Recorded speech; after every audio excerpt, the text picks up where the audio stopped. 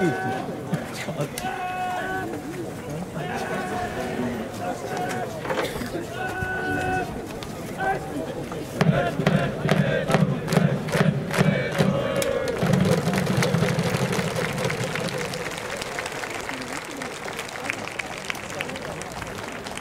送席、放送席、そして会場の皆さん、優勝インタビューです。2年ぶり10回目の国大会優勝を果たしました高知明徳義塾馬淵史郎監督です。おめでとうございます。ありがとうございます。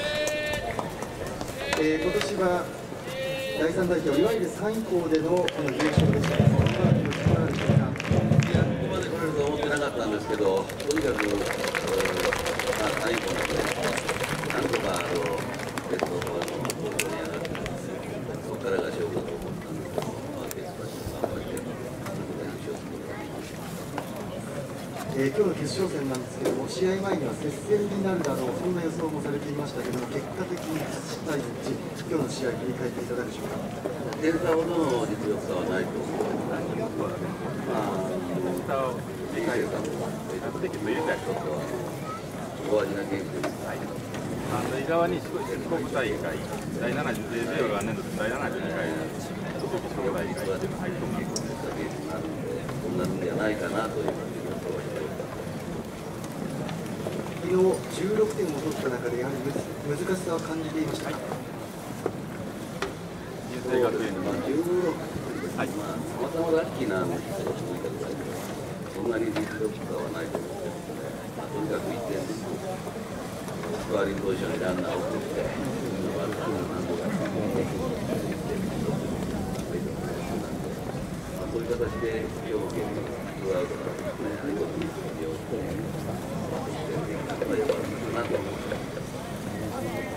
ッチングでは新地投手が今大会、非常にいいピッチングをして、えー、全ての試合では知識がなかったという投球なんですけども、このあたり、どうお感じになってますか。そうですね、まあ、3試合無四球っていうのは立派だと思いますね。そういう点では、あのうちが勝てあの四国大会で優勝した原因はですね、投手の制球力、まあ、スピードですね、そんなにないんですけど、定時にあの投げて、まあ、フォアボールを出さないというのが、まあ、一番大事なことなんじゃないかなと思っています。えーこの四国大会で打撃、そして投手力ともその実力を見せつけて、えーレーシング大会、これから臨んでいきますけども、この意気込みを聞かせてください。まあ、あの見ての通り力もね、相当集ないんですけど、なんとか自分たちが強いなと思った瞬間にこのチームのためになる、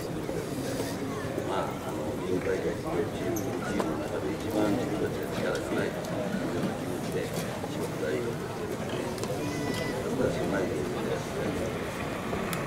おめでとうございました。高知明徳義塾の馬淵史郎監督でした。えー続いて明徳義塾高校えーキャプテンの鈴木大地選手にお話を伺います。えーまずはその大会優勝おめでとうございます。ありがとうございます。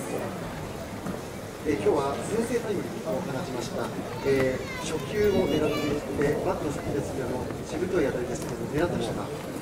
初球からチャンスなんで思い切っていく自分が先制点を取る、まあ、そんな気持ちはありましたか？はい、ありました。そしてあの守備の場面でも7回の裏、まあ、1点を返された、えーピンチを最小失点に抑えました。この時はどんなことを考えながらプレーをしていました？か。まあ、1点作られたので仕方ないです。あのあとはあの1点最初して、あの一人一人だけさあこれからレーシング大会へ臨んでいきます。その意味を聞かせてください。まあ、自分たちは守備から点を作っていくチームだと思って、そこに一球大丈夫そこの気持ちを忘れずにおめでとうございました。ありがとうございました。えー勝ちました高知明徳義塾キャプテンの鈴木大地選手にお話を伺いました。インタビューは以上です。